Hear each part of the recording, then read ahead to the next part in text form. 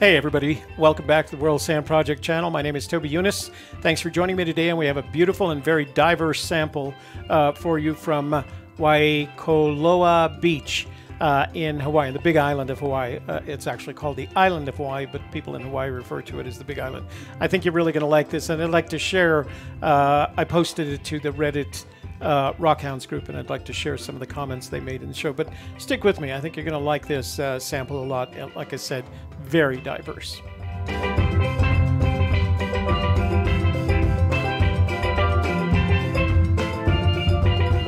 By the way, as long as I have your attention, I do want to let you know that while we will be doing our four o'clock show uh, on the softer side this afternoon, uh, there will be no A Gypsy's Kiss show tonight at 7 p.m.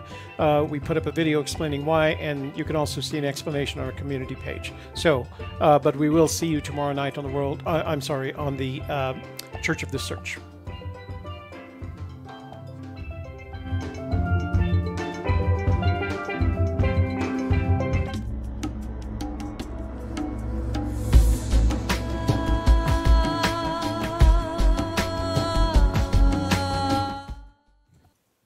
So let's take care of some. Yeah, you bet you want towels. You're out on the beach. Of course you do. Hey, uh, remember to like this video. Please like this video. Share it with your family, your friends, your neighbors, your business associates, and the entirety of your social network so that we can grow this channel. And finally, if you're not already a subscriber, this would be the ideal time to subscribe. Uh, and uh, once you click on the subscribe button, see that notifications bell, click on the notifications bell, and that way everybody, every, I'm sorry, every time we start a live stream, uh, you'll be informed and in the know because there's nothing better in life than being in the know. Um, the other thing I want to remind you of is why we're here, the World Sand Project. Although we have a lot of fun collecting these samples that folks send, send us from all over the world and showing them to you, uh, showing them under the microscope. Our purpose here is to remind folks that sand uh, is the most third most consumed resource on the planet behind air and water, and we are consuming it at a pace more rapid. Uh, more rapidly than the planet has the ability to replenish it.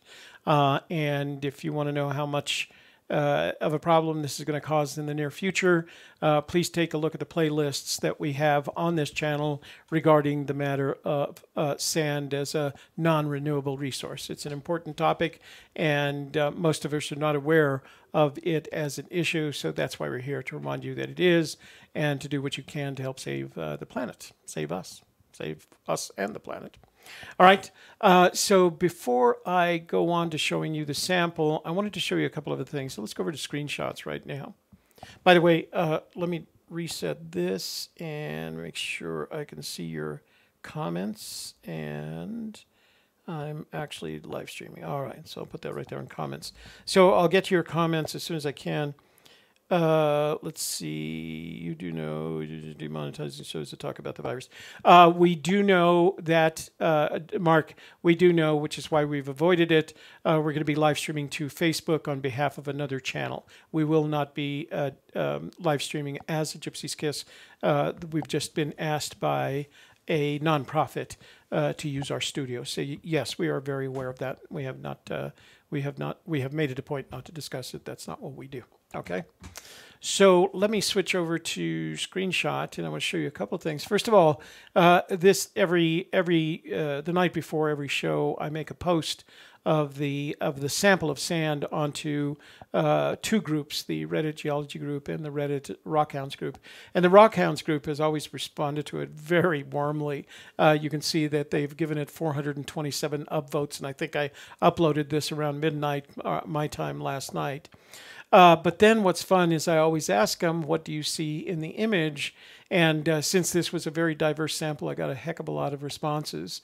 Olivine, Olivine, uh, and then a comment that said Hawaii is made of mafic lava, uh, which is tends towards the dark end of the spectrum.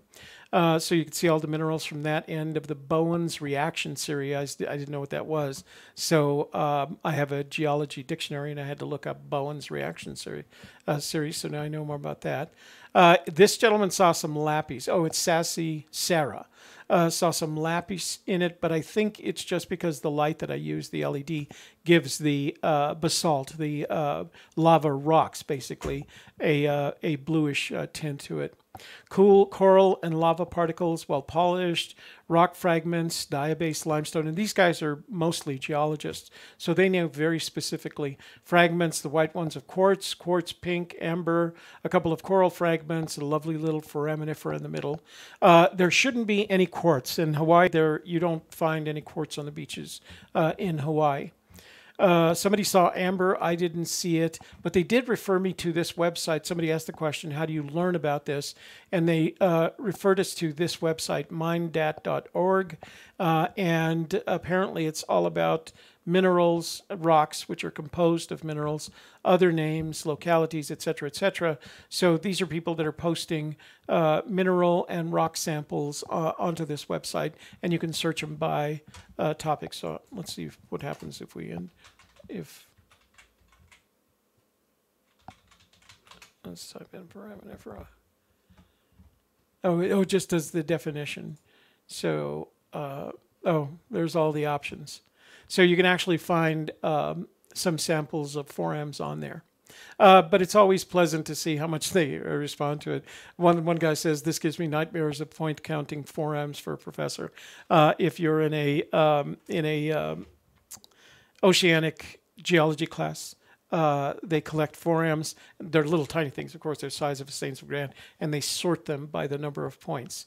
And you can end up looking at a microscope all day uh, on a piece of on a slide at a slide that has dozens, if not hundreds, of forams, and you're supposed to sort them out by by sand. That's what he was. Uh, that's what he was talking about. Um, let's see, spectacular and uh, visually stunning. Uh, volcanoes, along with destroying the puny works of humans, they create incredible beauty. And uh, one comment from Salvucci says, I'm loving all of these sand uh, macros that have been popping up lately. Keep them coming. So they really enjoy them in that Reddit uh, Rockhound group. But we put in the uh, geology group as well, but uh, we always get a much better response. And that's not a criticism of the geology group, but we always get a much better and more of a response from the Rockhounds group. So let's take a look at uh, where we collected, where the sample was collected. Uh, if we look at our little house in Bernalillo here, you'd have to travel all the way out into the middle of the Pacific Ocean to Hawaii. And uh, on, on, Hawaii, the Hawaii is divided into a number of islands that stretch from what is referred to as the Big Island, but that's actually the island of Hawaii, all the way to Kauai. And uh, Honolulu, which is the capital, is on the island of Oahu. Uh, so, but they refer to this, this island as the Big Island, and this is on what I'd call the northwest coast of the island. Uh, this is Mauna Kea, which is their biggest volcano. They do have another volcano here whose name I cannot pronounce. I tried five times and I just stumble over it. So, uh, so a lot of what you're going to see is the result of that volcanic activity, which continues to grow.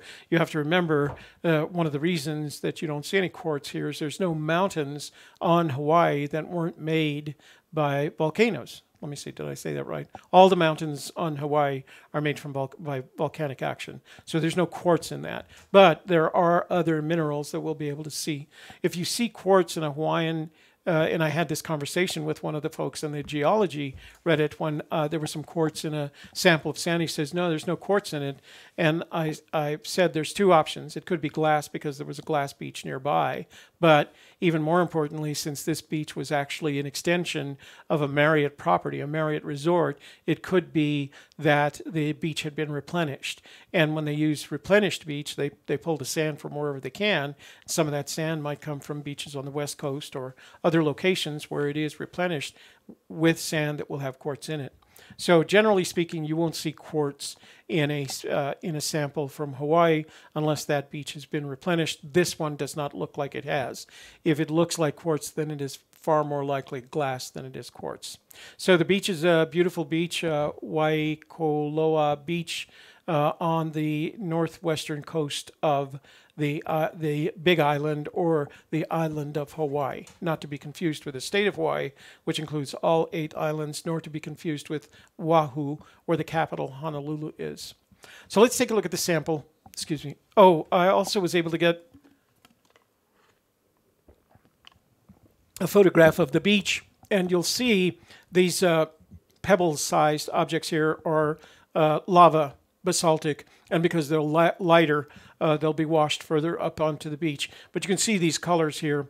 Uh, the transition from the light color to the tan color back to the light color. But again, if you look at it very closely, what you can see, let me see, can I zoom that in? I can from there. Uh, you'll see a lot of the smaller basalt things. Now, I did sort it as usual, and there were some um, there was some uh, material uh, in the sort that were larger than the two millimeters of sand. So I'm going to show you those real quick so we can take a look at them. Uh, this is what it looks like uh, under the light and stored in one of our sample bottles. And as you can see, it's almost equally a light color and a dark color. And that's those the the, Mayf- the dark colors are the what they refer to as mafic colors, and they mostly come uh, from uh, volcanic, in this case, lava. Uh, the uh, samples sorted out. It well, I did have uh, lighter weight sands. Uh, the most obvious sample was the very coarse sand between one millimeter and two millimeters uh, in size. Uh, the objects that I'm first going to show you were the ones that were larger than two millimeters, and that's what they look like. Unfortunately, when I shot this video, I mean this image, that object, the, the longer of the objects, uh, was turned the wrong way. So what you'll see is uh, not only some basalt, but you'll see shell material. Uh, I can't say that any of them look like forams foraminifera. Uh, I ran the magnet through it, and I got a very nice sample of magnetite. And again, uh, not only did it cover the mag- magnet, but there was enough magnetite that it made kind of a hemispherical uh, shape on top of the magnet. But again, that's all from uh, the basalt that was created, the, that came from, I'm sorry, let me put that a different way. It's basalt that came because it's lava and it was pushed up by the lava into, I mean, it's igneous rock with uh, magnetic uh, characteristics. So uh, let's. Uh, this is the long end view, and as you can see, when I when I uh, do the wide angle view on a sample whose uh, material is just under that two millimeter mark, it shows up pretty big in the sample. But again, you can see the dark color is the mafic igneous rocks that come from lava.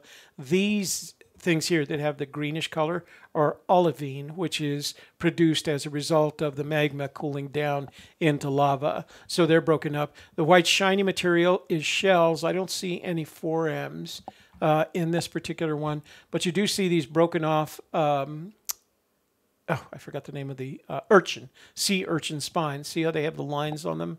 Uh, they do. You'll you'll see some of that. So these long ones right here. Those are uh, sea urchin spines that have been broken off, washed into the water, and then eventually and, and nicely rounded and washed up uh, onto the beach. again, some of that olivine, very beautiful, you know, gemstone quality olivine, but it's only in a grain of sand. I got a close up on one of them because it was just really, really pretty. And then that that's that beautiful olive color, different from a peridot. So I asked one of the geologists what caused this little shape right there, and that's the result of a bubble uh, popping while the lava was still in magniform. It was still hot, and a little air bubble formed on this particular grain, and it popped and it left that round circle there. So each of these grains of sand uh, have their own story to tell. So again, here's that. Uh, those are uh, some of the sea urchin spines. Uh, a lot of the dark color. There's our little friend with the uh, circle. That's likely a sea urchin spine. I didn't see any foraminifera in this shot, so I had to look long and hard to find it. Now you will see some rocks. That comes from that mafic uh, Bowers rounding scale uh, from the color. So they are igneous rocks that are pushed up uh, with the magma up onto the surface and uh, included in this. Uh, but then the, all that white material is uh, either, well, most of this is shell material. When you start seeing colors, you'll start seeing coral. So, for example, that's more likely coral up here in the upper right hand corner. I thought I saw some red material as well which again is more likely coral. But I found this beautiful little foram, just perfectly shaped, uh, tiny little foram that was just amazing to look at. And in the context, when I kind of zoomed back, I saw just everything that I would want in a single shot. So here, this one is uh, sea urchin. This and that and that are olivine. This is um, uh, uh coral. Uh, and then there's a lot of shell material. So I don't know. And then right here, a little bit, a little tiny bit of shell material. So I don't know how it gets any more diverse. Now, the person who thought they saw uh, lapis, which is this blue color. It, it was actually my fault because of uh, the lighting. I use an LED ring light to take these pictures, and it gives off kind of a bluish cast. It's warmer. It's in the like 6100 Kelvin range, and I didn't correct it, so that looks black. It's actually blue. It's the light that gives it. Uh, I'm sorry, it's actually black uh, but it's the light that gives it that bluish uh, tint. But if you look at that, remember that's smaller than two millimeters and um, and uh, fell through the screen. But it's an, a beautiful foram that could be, you know, hundreds, if not tens of thousands, if not millions of years old, uh, as it made it up onto shore. So I was really happy to see that. Another shot of it that included some olivine. Now this one has a, a, little bit of an amber color to it. So I, the only way that could be caused is by adding iron. So as it was cooling, it picked up some of the iron that was in the lava and added it to this color. So in the green color is called uh, caused by magnesium, uh, but the orange color is called caused by uh, iron. So all in all, I thought it was an outstanding sample and really good to look through. I'm going to take it over. I'm going to go over to the uh, maps for just a second. And of course, these links, both the photos and the maps, are in the description box below if you'd like to go look at them independently of the show uh, yourself. Uh, and that would be WSP 0033 photos. Now, I do want to point out that if you change that 3, 3 in there from any number from 0 to 3, 3, you can see all our other photo albums as well. We've got 33 samples that we've created photo albums for, and the easiest way to get to them is bit.ly slash WSP 00, and then just the number, you know, from 1 to 33 uh, followed by the word photos. The, the capitalization is important. The WSP must be capitalized and the P in photos must be capitalized. And that way you can take a look at any of our other samples as well. Okay, so let's go. Oops, I didn't want to go to photos. I wanted to go to, I said I wanted to go to maps. bit.ly slash W. And the same is true of maps, right? So if you enter 0033 maps, you can do the same for our other samples, uh, just change the number and you go to the maps. That actually takes you to Google Maps and when you close it right to the location that we were looking at. So that was the sample uh, that you saw earlier. I'm going to go into 3D mode and I'm going to zoom in just a little bit closer. We're going to go into globe mode as well. So get as much detail as you can. There are some really pretty pictures on here. Uh, and, and, this is on the beach that's just south of it. Uh, but you can see classic, uh, you know, kind of beautiful Hawaiian uh, beach sunsets because it is facing the northwest. So uh, good looking. And then, of course, there's some of that uh, lava flow that makes it out into the ocean that freezes up there. And all of the material that you see in here eventually is washed into the ocean and then refined, if you will, in the ocean. But it comes from that lava flow that uh, is igneous and basaltic in its uh, nature or uh, mafic, as it's called. Now, I thought I did have a better. Uh, let me see. I'm going to bring the little yellow guy up, except he turns into a merman. And let's see. This is. I'm going to go further up. So this is actually uh, Waikoloa Beach right here. So let's put that right there. See if he pops up. Yeah. Let's take a look at the beach. And this is where I got that uh, picture of uh, of the sand on the beach. Um, so nice little Hawaiian beach, boats out in the uh, bay, uh, people running around, and you can see that combination. There's a dark streak. Uh, so first, the lighter basaltic pebbles are up here at the top at the high water mark, but you can see a lot of color, dark color, mafic color in the sand uh, itself. So pretty good shot, good looking beach. I mean, are there any bad looking beaches on Hawaii? I don't think so. So thanks to Ken Shelton for uh, taking that um, that uh, what do you call it panorama for us. So let's take a look at the pictures from that area there were some pretty good ones. I liked. Let me see. There was one that I. This one right here, which was sunset. So you have, when you have that west setting, sun setting direction, makes for a really great picture.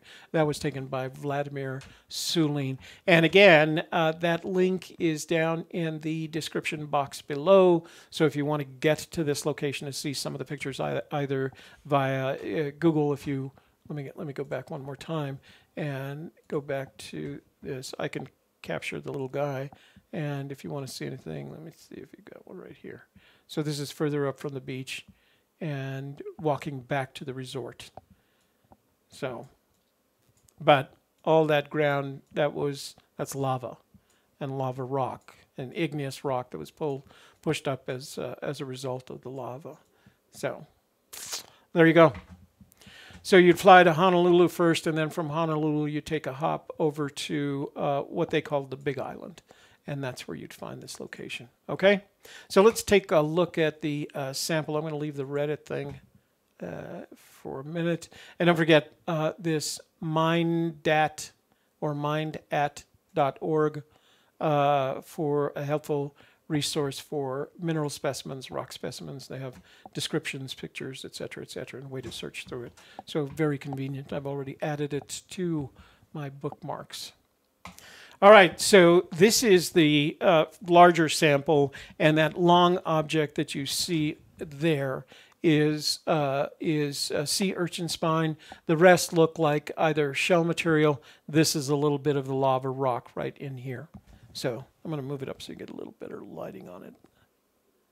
So this is in the crucible. I'm going to I'm going to show you a couple of things. Let me I'm going to go back to full screen for just a minute so I can share something with you. Full frame. Okay, so what I normally do is I put the sample of sand in a, this is a quartz crucible. Uh, and uh, it's designed to do things like this in the laboratory, pour something. And that's the picture that you get from it, right? You've seen this before. And I'm, I'm going to flip to it in just a second. But uh, there's another microscopy, microscopy channel, and uh, it's run by a gentleman. It's called uh, by something, something Hunter. I just for, I just forgot it. Uh, Microbe Hunter. His name is Microbe Hunter. His name, his real name is Oliver. His YouTube channel is Microbe Hunter.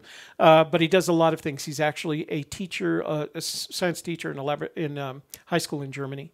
Uh, but recently he was on, and somebody sent him this recommendation to make a slide from sand. I I haven't done that yet, only because I found the crucible so convenient.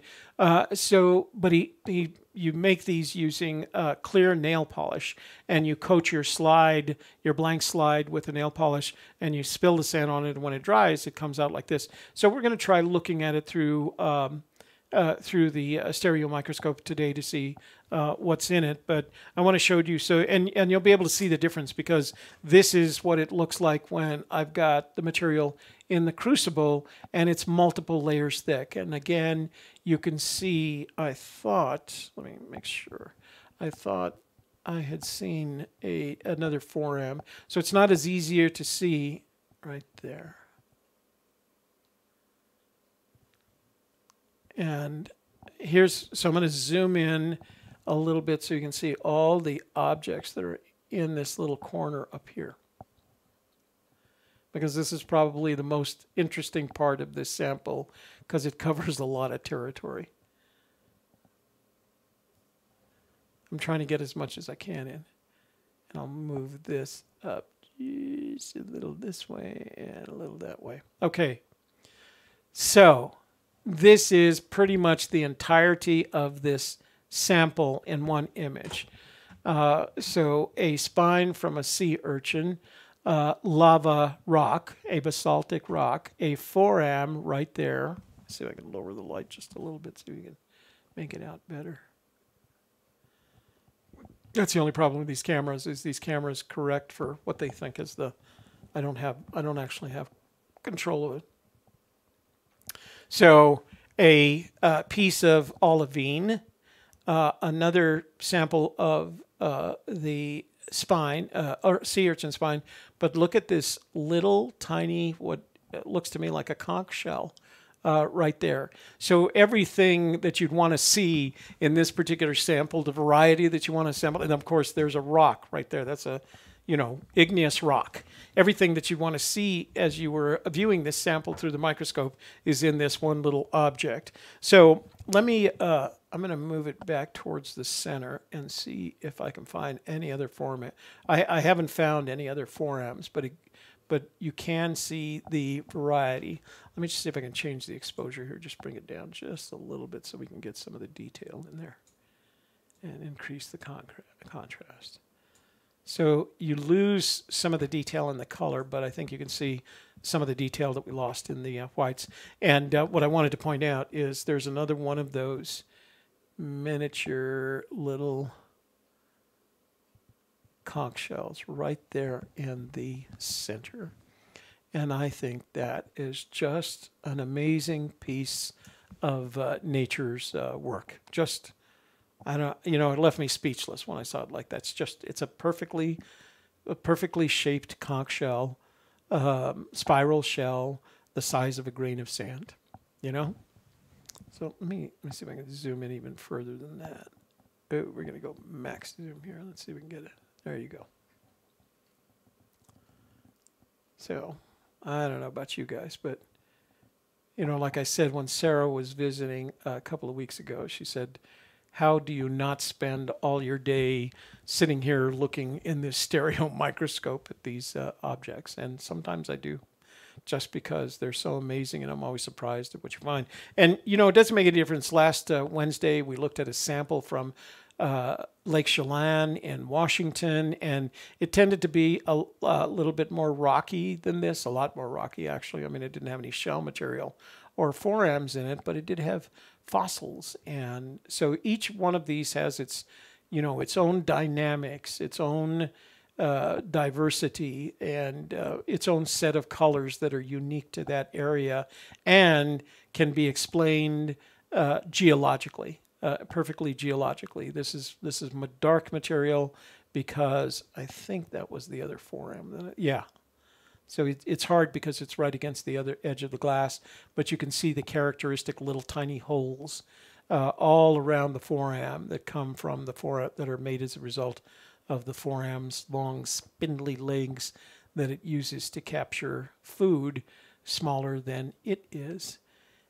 And then there was two things. Number one, this uh, mushroom capped shape shell and this beautiful piece of, you know, these are the ones that I see and I think to myself, how do I turn that into a gemstone and uh, put it in a mounting and give it to somebody? Because how beautiful is that?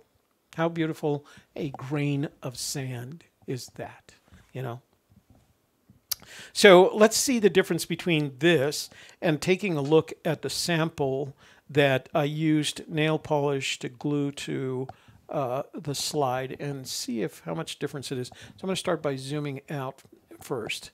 And so the first thing that you noticed is there's no layers. You can you can almost see, you know, there's a single layer of material. So I think you see a lot more of it, I guess. But you can see pretty much the same uh, the same stuff right there. Um, a another shell object, a miniature shell object. Uh, but you can see at the edge of the slide the um, uh, the nail polish uh, that I used to stick it on. And basically, the technique is you spread the nail polish on the slide, you pour the sand onto it, kind of make a pile of sand onto it, and then give it about 10 minutes for the nail polish to dry, shake off the excess, and you're left with this kind of cool little slide. And I did give it its number. I, I number all our samples, so I've started to add this. I haven't figured out quite how to store them because the way that you, uh, the way, um, the way that you store this material is. Um, oh, I'm sorry. The way that you store the slides, it's too. They they use they kind of use edges of the slides, and I'm I don't know that I messed it up, but when you put rocks on it like this, it doesn't fit into the slide holders. So let's zoom in just a little bit because I was really surprised at uh, the number of pieces of shell that I saw this. I don't think it's going to help. So I'm going to turn on the backlight just to see if it makes any, if it helps any. Yeah, that's not going to help. Let's not do it. Let's not do that. Let's zoom in. Oh, you can. Ugh, gosh. So who knows how long I was off on my own there, having my own good little time. so uh, amazing back. Okay. So I'm not. Okay, hang on.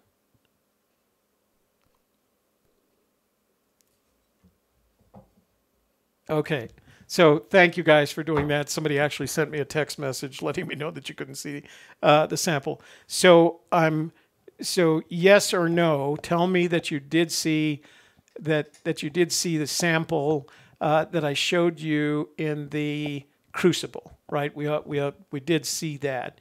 And uh, you saw all of that. And then what I did is I flipped back to full frame so I could show you the slide, and then I started with the slide. So um, let's see. So let me know how much you didn't see. Well, that was kind of silly of me, wasn't it?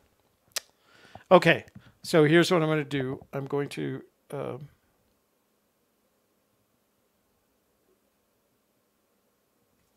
let me see. How far back? Oh gosh, it was 15 minutes worth of not saying, saying this sample. All right, so you guys do me a favor and tell me if you saw the sample in the crucible because I don't know how far I missed that, or you just missed this the sample on the slide, and I'll go back as far as I have to. We have a up to the sand slide. Okay, so so you did see the material in the crucible. All right, so let's go to the sand slide now, and I'm going to put that under the microscope. And uh, it's like I said, I'll, I'll, have to repeat everything now, and I'm sorry for that. Uh, like I said, uh, the sample is slightly different because uh, because it's just a single layer. So you can see, I, I always feel like you can see more details in it. And as I, I'm going to straighten this out, I'm just going to literally scroll up and down. So in, in, in my world, this is up and down, but I can also scroll right and left. And again, the diversity, you got to remember this all came from, you know, a spoonful of material or a, a couple of spoonfuls of material from one spot on one beach in uh, Hawaii. And um, and that's what makes it amazing. And you know, you're walking on the sand, and you see sometimes you see the differences in colors and uh, and things like that, but you don't realize that there's so much diversity in all of this. Uh, all of what you're looking at under your feet, you know, that's that's what always surprises me. Now, uh, again, what you'll see, anything that has that right here, where you see that little set of lines, that was produced by something organic, a creature, right? Uh, there's other material that's just shell material or uh, I'll think of it here in a minute, coral uh, that has the color. So when you see something like that, that reddish color, that came from coral. But uh, if you can see right here, I'm going to scroll over to it because it's probably the same thing that I was talking about while, while um, you guys couldn't see anything and I was having a good time on my own. It's kind of nuts when you think about it. So I'm going to scroll in there and you're going to see a little miniature conch shell. And that miniature conch shell was created by some creature that needed a home and then abandoned it. So uh, all of these things, a lot of these things are organic in the sense that uh, they were created by creatures that used them for homes. And then the dark material, a lot of the dark material is uh, produced by nature as magma comes up from the volcano. As we mentioned, the islands are all volcanic in nature, and the magma, as it cools, forms little bubbles. It collects chemicals, and these chemicals turn into minerals. And this is a mineral called olivine. And olivine is basically a form of uh, quartz uh, but it has uh, uh, magnesium added to it, and the magne- magnesium creates the green color. Sometimes there's a little bit of aluminum uh, in it. If it's got a reddish tint or a yellow orange tint, then it's because uh, uh, iron was added to it, ferrous oxide was added to it as it was cooling, and so it captures that that color. So what I'm going to do right now is I'm going to leave you with a shot here and I'm going to zoom out just a little bit so you can see the variety. And I'm going to do what I didn't do before, and that is pay it. Uh, just go through the chat room real quick so I can catch up with you guys, so you're not off there in Never Neverland while I'm not watching. Okay, so we got J.K. Pioneer T.I. Mattis in the room, Mark Connor, because I can, Bertha Chacon, Birdie, hi.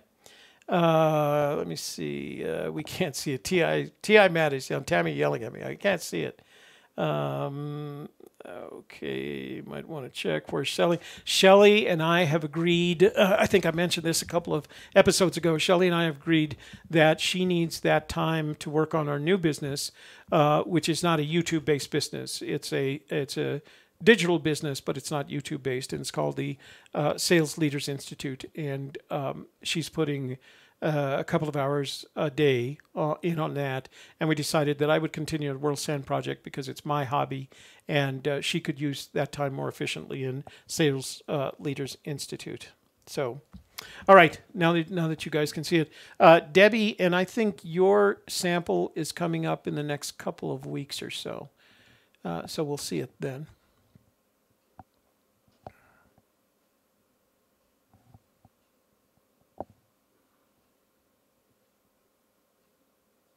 There we are.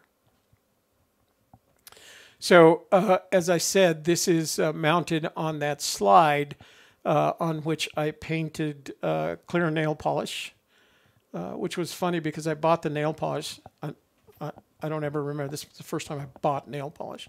There was a lot of it because I had uh, four daughters and a spouse. There was always a lot of nail polish around the house, but I never actually had to buy a bottle. and so this was the first for me. but uh, it worked. I, I painted the, the slide with the nail polish and uh, poured the sand on top of it, waited till it dried, and sprinkled it off, and it came out looking pretty good. So the colored material that you see down there towards the bottom, that red material here, is coral. The lighter material tends to be shell. If it's got color to it, generally speaking, and it's got that polished kind of look that it gets from the water uh, uh, rushing you know, washing over it continuously uh, that tends to be uh, coral. And then the shell material always has a whiter color. The dark material is mafic and likely uh, lava or uh, a basaltic in nature, but it's igneous rock that comes from the lava with all kinds of little tiny details in it. So uh, right there and there. And then, as I said, a lot of these darker uh, pieces are magnetite. They're magnetic because, as you saw in the picture from the magnet shot, um, uh, I collected a lot of it. And then there's one of those, they look like, you know, gemstones to me. I don't know how else to describe them. Very, uh, it frustrates me that I just can't reach into that image and pull out that beautiful gemstone olivine. So, but such is life. We can't do that. Uh, anyway, I hope you enjoyed this sample. Um, I wondered if Toby bought the nail polish. Yes, I bought the nail polish. I had to go to Walgreens and I had to ask where the nail polish was. I didn't know where nail polish was. I've never bought nail polish before. I can tell you where the shaving cream is and the and the deodorant, but I couldn't tell you where the nail polish was. It's over there by the lipstick. So, and then of course, getting I the, the other thing I, I thought I could say clear nail polish. There's 25 variations of clear nail polish not just different manufacturers for different reasons. So I had a little, uh, that was an interesting thing. I said, I just need one, and I tried to explain what I was going to do with it. Uh, I just need one so I can spread on a uh, microscopy, microscopy slide, and then I'm going to sprinkle sand on it. And the woman just looked at me like I was crazy. So uh, I, I knew she, she either thought I was crazy or lying, you know, like. So anyway, it was fun and uh, and it works. It works. It gives you a real nice uh, slide. So I haven't still haven't figured out this polarizing microscope. I do, you know, I can use it as a normal uh, uh lab microscope, and it gives a very detailed shot of everything. But it's not as much fun as looking through the stereo microscope, which doesn't have the same level of magnification. I'm I'm uh, pretty happy with it. So uh, let me see if I can scroll this over. I want to find another one of those little uh, beautiful little, you know, I know I was talking about it's the little conical shaped shell and uh, bragging about it, and you guys couldn't see it. And then by the time I had, uh, yeah, I had realized you weren't seeing any of this, I kind of lost track of it. So let me see if I can find another one real quick. If I can't, I'll I'll find it later and then take a picture of it. But I can't tell you how. I wish you could have seen it because it sure looked good. Sorry you missed it. You know, my fault, my bad, and it's tough. I'll have to get better at uh, doing this uh, on my own because uh, you know it's it's kind of neat to have Shelley here to be able to help with that. Uh, but uh, but yeah, I'll have to get better at it uh, when I'm here on my own. I think what I'll have to do. So this is my. I have a the stream monitor is on an iPad, and the microscope is over here on my uh, on another table. Microscopes. Um, so uh, I guess I'll have I'll move the stream the pad the iPad over to the same side where the uh, where the microscope is, and that way we can do it. Here, I'm going to go back to the window shot. You guys deserve five more minutes of this beautiful sample. So, because I cheated you out of 15. So, uh, and and what's kind of fun is sharing this with that Reddit group and asking them what they see, and they're the ones that tell me, you know, what all this different uh, these different colors are. The the colors are coral. The light colors are um, are uh, shell material, and uh, some of the material, as I said, like like always, I told you the story is uh, fish poop, uh, because the parrotfish uh, chomp off the coral and they suck off the bacteria on the coral. And it's actually a symbiotic relationship, uh, and they suck uh, they they they suck off the material the bacteria that's on the coral, and then they they poop it out. Now, it's not it does go through their digestive system, but it's not like poop. It's just cleaned coral. Of course, then the ocean washes it even uh, further. So a lot of this coral is basically fish poop. Now, the olivine, the olivine, uh, actually is the result of the uh, lava flows. You know, the lava doing what it does, and then as it cools, it collects these the minerals that are inside the lava, and like all lava flows, it has lots and lots of minerals inside of it. So that colored material that you see there, the red and the orange colors, uh, will tend to be uh, coral rather than shell material. But anytime you see those little lines, uh, you can you can conclude that the little lines are made part of as part of some organic, uh, some life form making a home for itself, and then eventually divesting itself of that home because it grows, right? So that's where all that uh, comes from. And and what's interesting, what I read uh, last night, was that if you start out as a creature, uh, whatever you are, and and it gave me all the uh, biologic the, the the terms for them. I didn't I couldn't memorize them all. Uh, but if you start out in life making a conch style shell, when you leave that conch style shell, you will simply make another larger conch style shell. Uh, so you, once you decide, once your your whatever your evolutionary your DNA says, because they do have DNA, uh, says you need to live in a conch shell, you live in a conch shell the rest of your life. Eventually, you'll make a conch shell so big that when you divest yourself of it, or whatever it's called, when you get rid of it, uh, it will be inhabited by a hermit crab, who uh, use them to, you know, they don't build it out, but like the original creature did, but um, but they do live in it very comfortably. As a matter of fact, I think you used to be able to, if you go to Hawaii, you can actually buy a hermit crab living in a, a small conch shell. I don't think you can bring it home with you, so you have to figure out what to do with it before you leave the hotel. All right, so uh, this you go through the pictures. You have access to the pictures at bit bit.ly slash WSP0033 photos and take a look at some of this stuff. It's just amazing and uh, diverse and gives you a sense. You know, our motto is you can see the world, you see, we see the world in a grain of sand.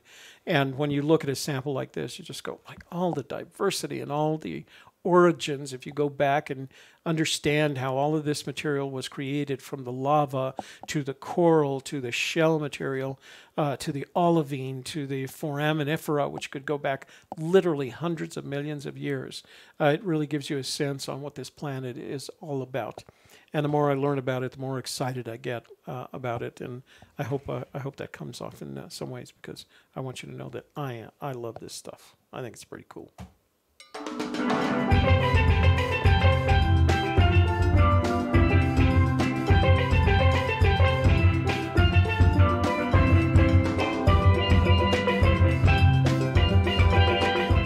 So before I leave, I do want to say uh, hi to Zena Negra.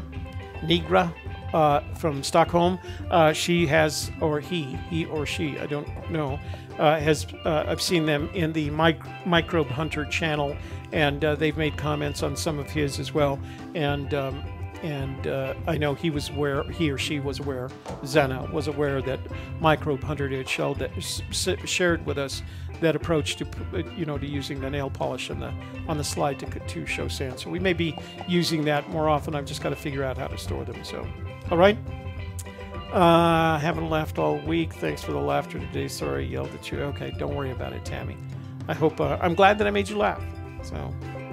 None of us are perfect. And again, we will see you at 4 o'clock with the softer side, uh, where Shelley's going to interview me about our new business. And then uh, uh, there will be no A Gypsy's Kiss tonight at 7 o'clock.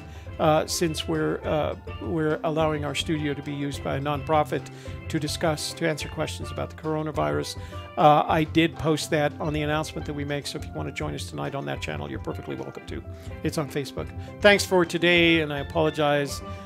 We got to figure out some way, you know. Uh, I, I also didn't have my phone on, so if I turned it on, you guys could have texted me there, but that was my fault. I won't make the same mistake again. I hope. All right. Have a good uh, have a good afternoon. And have a good weekend. If I don't see you again, bye bye.